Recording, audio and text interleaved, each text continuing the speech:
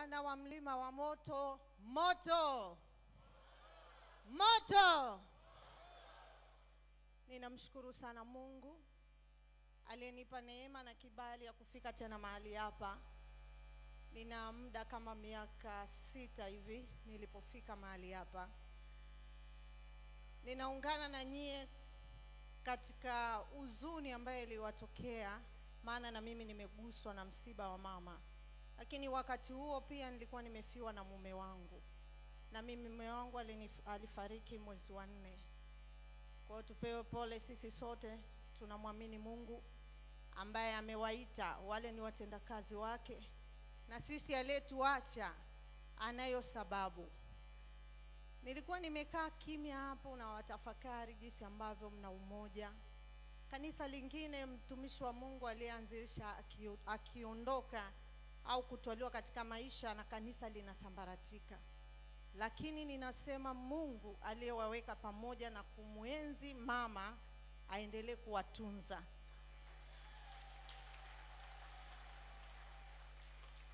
Mbarikiwe sana wana wa mlima wa moto, kwa sababu ninauona moto. Mmelelewa mkaleleka, mnamwenzi mama katika upendo wake.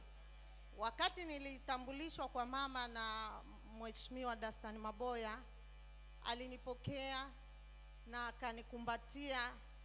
Wakati ule akaniambia atasapoti pia huduma yangu, ndo nilikuwa nimeanza, lakini ninambariki Mungu kwa wakati ambao ametwaliwa kabla hatujaonana tena, na ninashukuru pia siku ya leo madhabahu imenikutanisha na Christina Shusho.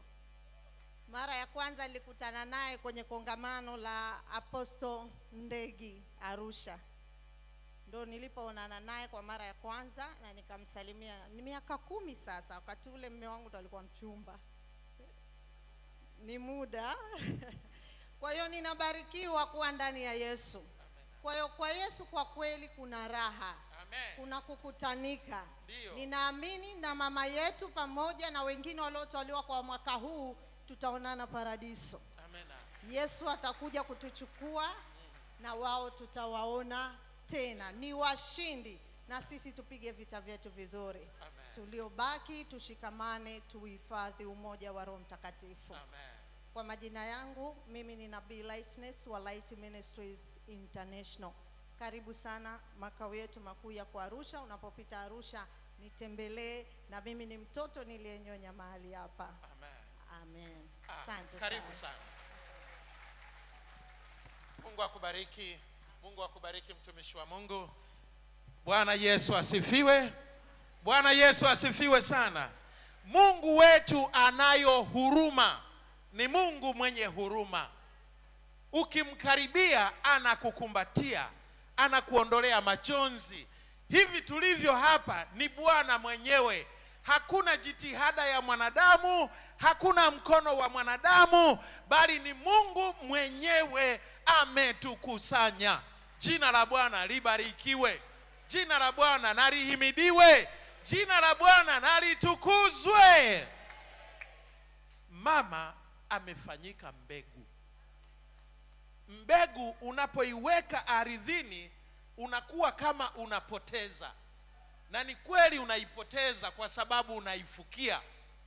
Lakini hiyo mbegu mungu anafanya ya kwake inatokea germination hiyo mbegu inachipua inazaa matunda. Bwana yesu asifiwe. Nasi tunatarajia kuona matunda makubwa kuliko hivi tunavyoona. Jitie nguvu katika jambo hilo. Bwana yesu asifiwe sana